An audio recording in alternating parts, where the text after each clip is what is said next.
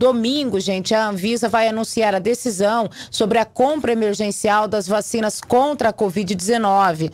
Um importante passo na história do combate ao coronavírus no país. E depois disso, Mato Grosso do Sul estima receber mais de 1 milhão e 700 mil doses para começar a vacinar a população. A Tati Simon tem mais informações. A tão esperada vacina contra a Covid-19 parece estar bem perto de ser uma realidade para os moradores aqui de Três Lagoas. Aliás, a esperança é para todos os sul-mato-grossenses que aguardam o próximo passo que deve ser dado na semana que vem pela Secretaria Estadual de Saúde.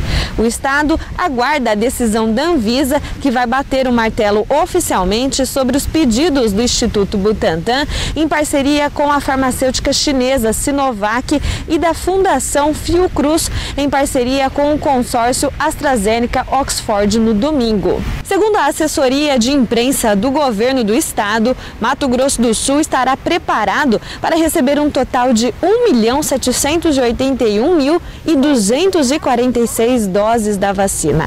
Com essa quantidade, a previsão é imunizar 890.623 pessoas em todo o estado. Aqui em Três Lagoas, no entanto, ainda não foi consolidado o total de doses que o município vai receber no primeiro lote.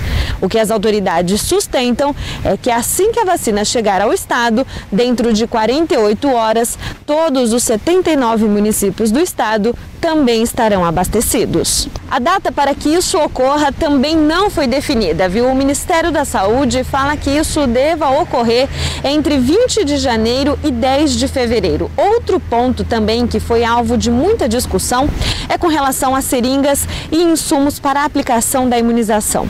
Mato Grosso do Sul declarou ontem que já tem garantidas 2 milhões e 500 mil seringas e agulhas para começar a vacinação contra a Covid no estado. Os insumos já estão em posse dos municípios e também da rede de imunização estadual e diz que já é uma quantidade suficiente para atender o início da campanha de imunização.